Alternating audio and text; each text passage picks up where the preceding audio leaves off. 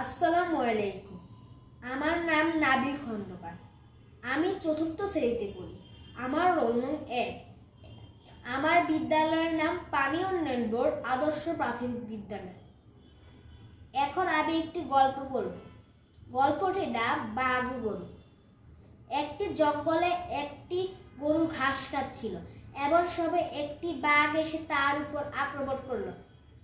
গরুটি কিছুক্ষণ দৌড়ানোর পর উপায় না পেয়ে একটি পুকুরে গিয়ে লাফ দিল। বাঘটিও তার পিছনে পিছনে গিয়ে ওই পুকুরটিতে লাফ দিল। পুকুরটি কাদায় ভরা ছিল। কাদায় বাঘ ও গরুর গলা পর্যন্ত ডুবে গেল। বাঘ রেগে মেগে বলল, বেটা মূর্খ, তুই এখানে ছাড়া অন্য কোথাও লাভ দিতে পারলি না। ডাঙ্গায় থাকলে তুই কুড় মুড় করে খেতাম। এখন তো দুজনেই মরবো। গরু একটু হেসে বলল, তোমার কি মালিক আছে? বাঘ বলল, বেটা, আমি হলাম বনের রাজা, আমার আবার মালিক কে? আমি তো নিজেই বনের মালিক। গরু একটু হেসে বলল, এখানেই তুমি দুর্বল, একটু পর আমার মালিক আসবে, আমাকে এখান থেকে উদ্ধার করে নিয়ে যাবে আর তোমাকে পিটিয়ে মারবে।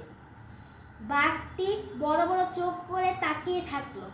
ঠিকই সন্ধ্যার সময় গরুটির মালিক এসে বাঘটিকে বাঁশ দিয়ে চার পাঁচবার বাড়ি মারল। এর ফলে বাঘটি সেখানেই মরে রইল এবং মালিক গরুটিকে পুকুরটি থেকে টেনে তুলল এবং বাড়ি নিয়ে গেল।